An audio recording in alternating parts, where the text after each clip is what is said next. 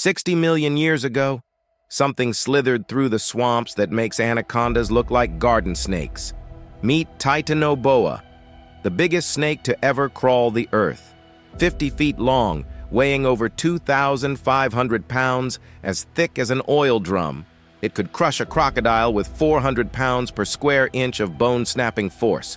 It didn't slither, it dominated. Titanoboa ruled the steaming jungles of prehistoric Colombia just after the dinosaurs vanished.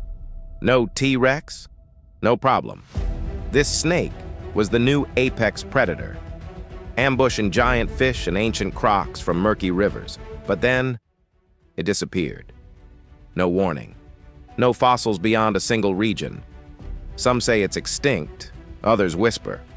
Could it still survive in unexplored jungles?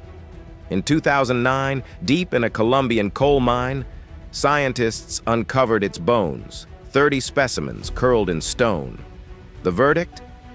Titanoboa died when the world cooled. Its giant, cold-blooded body needed heat to thrive. And Earth got colder. No, it's not lurking in the Amazon today, but if Earth heats up again, could something like Titanoboa return? Would you swim in a river that once belonged to the king of snakes? Drop a snake emoji if you dare. Like follow and tag a friend who needs to meet Titanoboa.